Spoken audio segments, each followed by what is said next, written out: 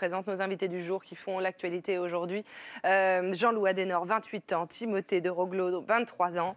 Euh, vous êtes journaliste et vous venez de publier, et je le montre, attention, Dieu est amour aux éditions Flammarion sur les thérapies de conversion. Je ne sais pas si vous en avez déjà entendu parler, vous qui nous regardez. Les thérapies de conversion, ce sont des programmes en fait menés par des mouvements euh, chrétiens ou évangéliques et qui ont pour but, comme je vous le disais, de guérir les homosexuels comme si c'était une maladie d'être homosexuel. Et ensemble, vous avez également euh, coécrit un, un film, un documentaire réalisé par Bernard Nicolas, Homothérapie conversion forcée, qui sera diffusé sur Arte le mardi 26 novembre à 20h50. Je vous propose de regarder déjà un extrait de cette bande-annonce.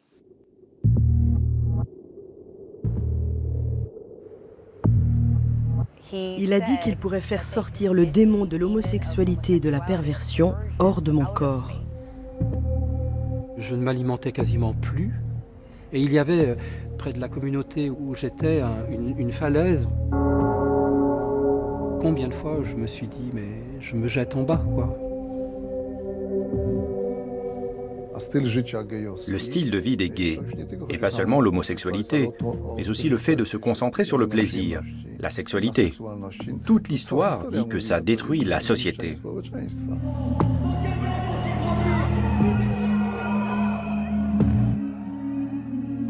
J'ai pu ainsi aider des centaines de personnes grâce à la thérapie.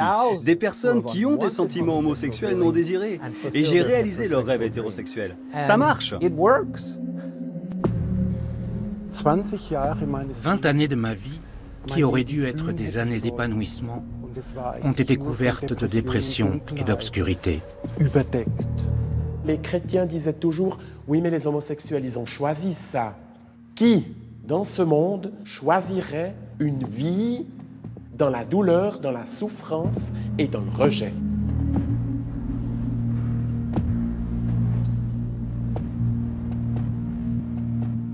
Et je pense et je sens sur ce plateau qu'il y en a qui n'arrivent pas à croire ce qu'ils viennent d'entendre et ce ne sont quelques phrases. Euh, c'est une parole importante pour euh, bien comprendre, ça existe. Euh, est-ce que vous pouvez nous expliquer, du coup, tout simplement, ce que c'est qu'une euh, thérapie donc, de conversion et surtout euh, d'où ça vient et depuis quand ça existe? Alors, euh, en fait, nous, ce qu'on définit plutôt comme thérapie de guérison, c'est des groupes ou des thérapeutes qui envisagent l'homosexualité comme une déviance au niveau à la fois psychologique et spirituel et qui proposent des manières de la guérir ou de la réfréner. Et c'est des mouvements, euh, ceux, ceux en tout cas sur lesquels on a travaillé, c'est des mouvements qui viennent des États-Unis, qui sont apparus euh, aux États-Unis dans les années 70, dans les milieux évangéliques, et qui sont implantés en France à partir des années 90. Mais en France, pendant longtemps, l'homosexualité était considérée comme une maladie. Oui, c'est assez récent. C'est le- récent, donc c'est pas. Je dis pas que c'est- pas étonnant de se dire que nous, dans notre société, il y a encore une cinquantaine d'années, l'homosexualité c'était une maladie.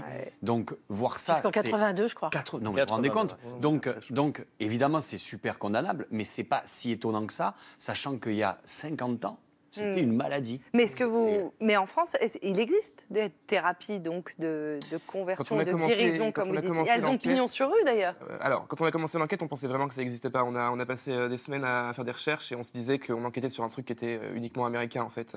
Et on s'est rendu compte que non seulement ces thérapies existent, euh, ces thérapies de guérison existent, mais elles progressent depuis, euh, depuis bientôt 30 ans en France en fait. Euh, et elles progressent de façon complètement occulte. Alors, euh, on a décidé d'enquêter et notre journaliste Sarah Cadou a réussi à recueillir le témoignage justement d'un jeune homme. On l'accueille tout de suite. Bienvenue Sarah.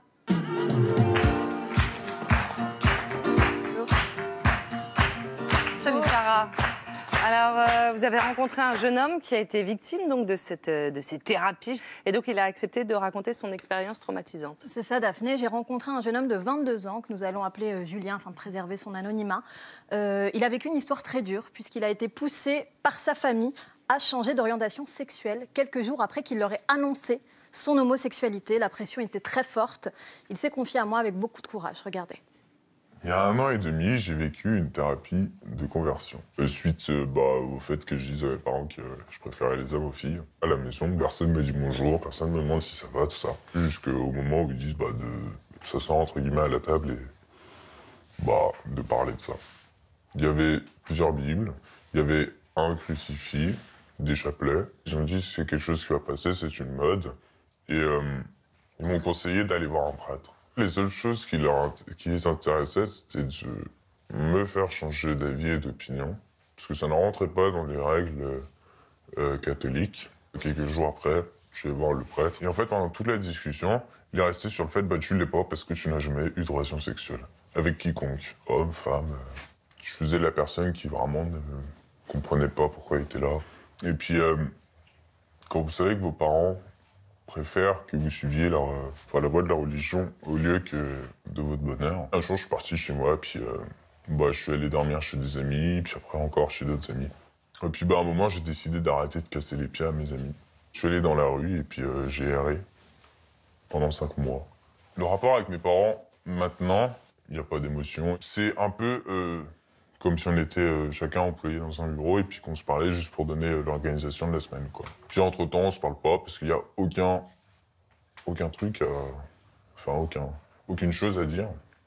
Jean-Loup Timothée, des témoignages comme euh, celui-ci, euh, vous en avez recueilli euh, des dizaines pendant vos deux ans d'enquête Alors, peut-être pas des dizaines parce que c'est très compliqué. Les victimes ont beaucoup de mal à parler. C'est des groupes qui se sont implantés euh, récemment. En tout cas, nous, euh, les groupes dont on parle, sur lesquels on a enquêté. Euh, en revanche, ce qui nous a permis de vraiment comprendre ce qui se passe à l'intérieur, de quoi, de quoi il, de quoi il s'agit. Jean-Loup s'est infiltré pendant un an. C'est ça. Vous êtes allé plus loin. Vous avez décidé d'intégrer, de vous infiltrer dans deux groupes qui pratiquent justement cette thérapie de conversion. Comment on s'y prend? Euh, eh ben, on suit le parcours que, que beaucoup de ces personnes-là suivent, à savoir on se renseigne euh, dans, enfin, sur Internet, euh, on cherche...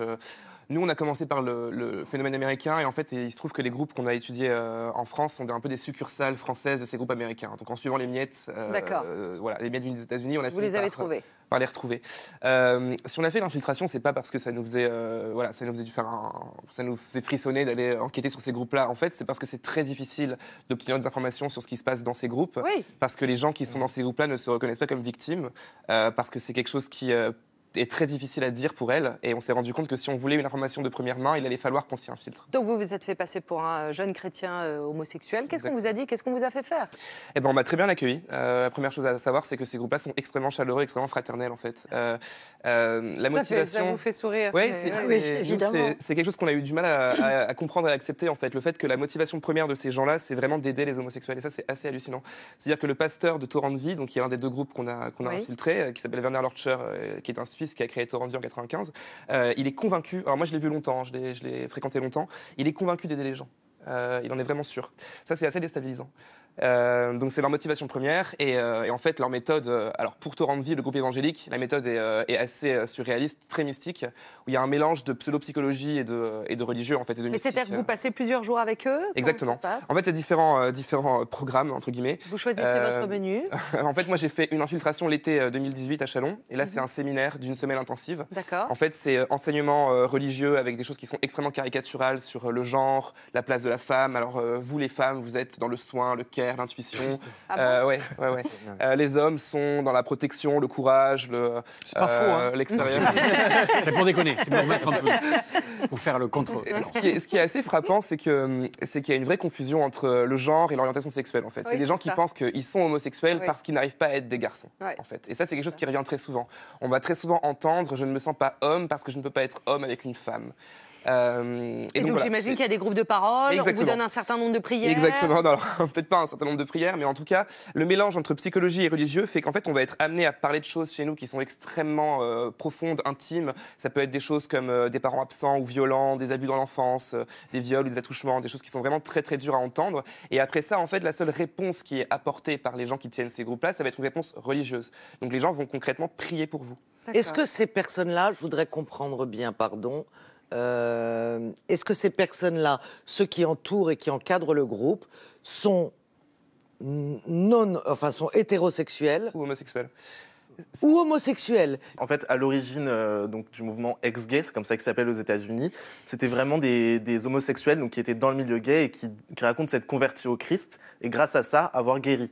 Euh, en France, c'est un petit peu différent. Les personnes qui tiennent ces groupes, ça va plutôt être des, des pasteurs, des prêtres, des thérapeutes et qui, euh, dans la plupart des cas, sont euh, pas concernés, en tout cas disent ne pas être concernés par euh, l'homosexualité. C'est limite des sectes, en fait, non? Alors, nous, on est très prudent là-dessus sur la qualification sectaire parce qu'il y, a tout un tas de, critères à réunir. les critères de la Mivilude, en l'occurrence, l'organisme qui lutte contre les sectes en France, notamment une question d'emprise financière qu'on n'a pas trouvée dans ces groupes-là. Parce que, parce que, est-ce que c'est payant? Alors, c'est payant, mais on a fait une, enquête financière. Enfin, on a, essayé de savoir s'ils de l'argent, en fait, sur la, question de la motivation. Est-ce qu'ils gagnent de l'argent en faisant ça En fait, on s'est rendu compte que non. le groupe catholique Courage est gratuit. Euh, donc ne c'est pas d'argent. Et Torrent de Vie, les séminaires coûtent quelque chose comme 300 euros la semaine, mais ça couvre à peine les frais qu'il qu'il dépense pour, euh, pour organiser ces séminaires-là. Qu'est-ce qu'ils disent sur l'homosexualité? Que ça n'existe pas. Il n'y a pas d'homosexualité, ça n'existe pas. En fait, la personne est nécessairement hétérosexuelle. Mais c'est quoi C'est un choix C'est une maladie pour eux C'est une déviance, euh, ce qu'on appelle. Euh, jamais le mot maladie. Du diable, ils vont jamais, ouais, ils vont jamais. Alors, ils vont jamais utiliser le mot maladie, absolument jamais, parce qu'ils ont lissé leur discours en arrivant en France, euh, parce qu'on peut pas dire les mêmes choses qu'aux États-Unis en France, heureusement. mais en fait, la personne est, hétérosexuelle, et puis à un moment, il y a une déviance, une cassure, une. Alors, ça peut être un, désordre parental, familial, de la maltraitance, des choses comme ça, et en fait, c'est ce qui va le rendre homosexuel. C'est une faille psychologique. C'est une déviance psychospirituelle. mais rendez-vous compte de ce qu'on est en train de se dire. Il y a quelqu'un qui. Vous vous rendez compte J'avais vu un post super intéressant de quelqu'un qui listait toutes les aberrations, euh, je dirais, euh, de la Bible il n'y avait pas que l'homosexualité qui était à bannir. Ah oui, non, il y a le vêtement, les vêtements en coton, ou enfin, Exactement. le coton ou le linge. Je, je parle de notre Bible C'est-à-dire, en fait, tous les anachronismes, c'est-à-dire cette vieille loi. Et du coup, c'était formidable, parce qu'il disait à ce moment-là, il faut, il faut vivre comme ça et on est tous euh, dignes de lapidation, Jésus, etc. C'est quand même un mec qui traînait avec 12 garçons, un slip, un père absent. Ouais, ouais, Ce qui est, poser les intéressant dans, dans, ce que, dans, ce que, vous dites, euh, André Manoukian, c'est que euh, les interdits de l'Ancien Testament sont très nombreux. Il y en a vraiment beaucoup. Et les seuls qui, qui perdurent encore de nos jours, ça va être euh, l'homosexualité.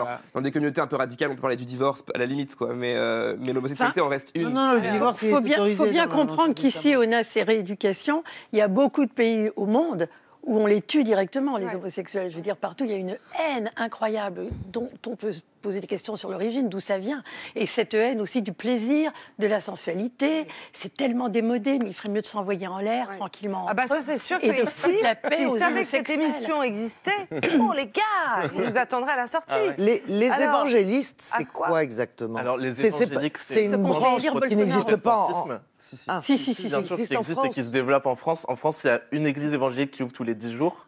Donc c'est-à-dire oui, que en fait, bien. Euh, sur la question de la Bible, c'est très intéressant parce que le, le christianisme majoritaire euh, est plutôt euh, dans une évolution euh, vers plus d'ouverture autant du côté des catholiques que des protestants, malgré ce qu'on peut, euh, ce qu'on peut en mmh, penser. Et là, on parle vraiment de franges minoritaires. Nous, on parle de minorités bruyantes, c'est-à-dire d'une frange minoritaire du protestantisme et du catholicisme, euh, qui ont une vision extrêmement conservatrice de la société et qui croient à la guérison miraculeuse de manière extrêmement forte. C'est l'Église qui se développe le plus vite en ce moment, mais planétairement. C'est eux, qui deviennent majoritaires au Brésil, avec les conséquences. quand on dit évangéliste, donc, ça peut être protestant ou catholique. C'est protestant. Les évangéliques. Souvent protestant. Alors, les évangélistes, c'est ceux, qui... Ont écrit ceux qui ont écrit les évangiles. Donc, il y a toujours une confusion là-dessus, mais Pardon. c'est pas grave. En tout cas, ce que vous expliquez, c'est que donc l'homosexualité est souvent présentée comme une, possession démoniaque hein, par euh, ces groupes. Et donc, Sarah, après avoir rencontré Julien, vous avez décidé d'aller à la rencontre de personnes qui prétendent guérir l'homosexualité. C'est ça. En fait, en quelques clics sur Internet, euh, j'ai trouvé euh, des annonces qui proposent des désenvoûtements aux personnes homosexuelles. En France. En France. Et comme vous l'avez dit, qui leur proposent de les guérir pour quelques dizaines d'euros cette fois. Alors, pour voir comment se passent les séances, je me suis fait passer pour une jeune femme lesbienne. J'ai dit que ma famille voulait me guérir et j'ai filmé notre rendez-vous en caméra cachée. Regardez. Donc là, on est sûr que c'est un envoûtement. Je fais mon boulot, je suis médium. Bah, depuis le temps que je fais ça. Et des personnes dans dans le même cas que moi, homosexuel, vous en avez combien? Une dizaine? Plus. Ah.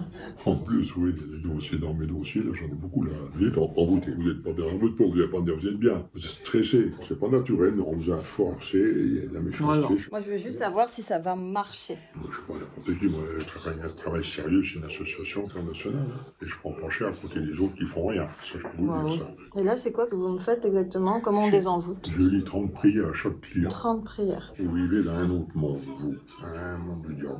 C'est le monde renversé, c'est plus le monde normal. C'est sous l'empire du diable. Moi, ce que je veux dire. Vous êtes bien dans vos hein, à 100%. quoi. Et un jour, vous reviendrez avec un homme. C'est la vie normale, non? Oui ou faux Le bon Dieu a pas mis les deux à Adam et Ève, euh, c'était pas deux bonhommes ni deux bonnes femmes. Oui ou faux Que le diable soit sorti de vous, ça, c'est déjà bien. Elle est sortie là? Attends, non, non, non, il faut transférence, ça, je fais pas ça. Oh non, non. je fais ça en profond depuis toujours. Ça ne veut pas dire, moi, je pas en, en une demi-heure. trois Oui, oui, Ça n'existe pas, ça. c'est D'accord. trois fois. Vous allez me dire cette prière tous les Tous soirs, une fois avant de se coucher. Une fois avant de coucher. êtes trop belle pour rester comme ça dans le néant, dans, en diablé. C'est pas une maladie grave, ça je veux dire. Ça même bien. Ah, je vous souhaite d'ailleurs. Mes souhaits marcheront un jour. Je vous le promets. Waouh. Ça fait froid dans le dos. hein. Ça se passe en France. hein. Vous avez payé. hein. Pour ça, il faut Oui, payer. oui, j'ai payé une trentaine un- d'euros. C'est un, un exor- c'est pas un exorcisme, pardon. C'est un désenvoûtement payant. Vous aviez déjà assisté vous, à Alors, ce genre de ça chez, chez Torrent de Vie, quand je me suis infiltré euh, au séminaire de. C'est de, de l'exorcisme, par alors, contre, vous. alors, j'ai- entendu, oui, j'ai assisté euh, de loin à un, à un exorcisme euh, d'une femme en l'occurrence, mais la, la thématique de la possession démoniaque, elle est, elle, est, euh, elle, est, elle est hyper importante parce que le discours est bienveillant. L'idée, c'est d'accueillir les gens et de les aider. Je parle de Torrent de Vie et de Courage, les groupes qu'on a infiltrés. Euh, et c'est ce qui se passe la semaine où je m'infiltre. Je me rends compte qu'en fait, je suis un peu en ambiance colo. C'est hyper sympa, les gens sont super sympas, le pasteur est hyper accueillant, tout se passe très bien. Et en fait, au fur et à mesure des jours, je me rends compte que euh, l'explication psychologique de maman a été étouffante, papa a été absent, en fait, elle disparaît. Et ce qui se trouve derrière, ça va être clairement euh, une explication euh, extrêmement mystique et, diabolique. Et on assiste, j'assiste à un- une, une- une séance de prière qui, s'a- qui s'appelle une séance de prière de renonciation aux démons. euh, où on va tous ensemble, on est une centaine, on va tous ensemble réciter une prière où on va dire euh, j'ai plié le genou devant un faux dieu, euh, le dieu de l'idolâtrie et de la perversion sexuelle. alors c'est Baal, Astarté, peu importe son nom, l'adversaire, Satan, enfin il a des tonnes de noms. Et on, re- on renonce tous ensemble à, cette emprise démoniaque. Donc clairement, le phare pseudo-spirituel tombe et derrière, l'explication qui, qui est une explication on ne peut plus homophobe, c'est la possession démoniaque. Timothée Jean-Loup, vous avez rencontré bon nombre de, de, de- de victimes traumatisées justement euh, de ces euh, thérapies euh, de conversion. Quel est l'impact? Vous avez un peu de recul. Quel est l'impact finalement sur leur vie euh, d'aujourd'hui? Oui, en fait, euh, pendant les infiltrations, c'est un petit peu difficile parce que. Oui, parce que j'ose même pas vous demander si ça marche. Je vais vous répondre après. Ah ouais après répondre. Je- je- En revanche, sur la question des, des dégâts psychologiques, on a pu effectivement discuter avec des victimes qui ne sont pas passées par courage et torrent de vie, mais des parcours similaires.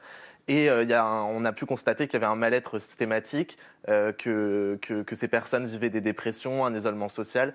Et on a eu euh, l'histoire très forte de Jean-Michel Dunant, qui a essayé de guérir de son homosexualité qui a notamment vécu huit exorcismes en l'espace de deux ans.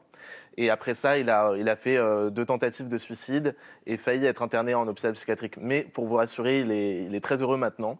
Il s'est marié avec un homme et il a monté une communauté de chrétiens qui se battent pour faire accepter l'homosexualité dans, dans l'Église. Qu'est-ce qu'on peut faire juridiquement pour que ça s'arrête? Alors juridiquement, pour l'instant, il y, a un vrai euh, vide juridique justement. Euh, il y a des choses qui existent comme euh, l'exercice illégal de la médecine ou l'abus de faiblesse, mais pour une victime qui est dans ces groupes-là, c'est très difficile d'y avoir recours, de se sentir victime comme ça. Donc en ce moment, il y a deux députés à l'Assemblée nationale qui, ont ouvert une mission d'information pour, créer une, qualification pénale, une, vraie infraction, et pour dire voilà une personne qui tente de changer l'orientation sexuelle de quelqu'un et euh, qui cause des dégâts euh, sur la santé mentale ou physique euh, peut s'exposer à, euh, à, à des poursuites pénales, etc. Ceci dit, moi, je me suis fait envoûter par une chanteuse une fois et j'ai. Oui, une autre histoire. on serait- C'est une autre histoire. En tout cas, voilà, on voulait vous en parler aujourd'hui. C'est une enquête édifiante. Jean-Loup, merci. Et Timothée, merci, d'être venu sur ce sujet important. Ça s'appelle Dieu est amour. Et c'est publié aux éditions Flammarion. Merci infiniment d'être venu sur le plateau.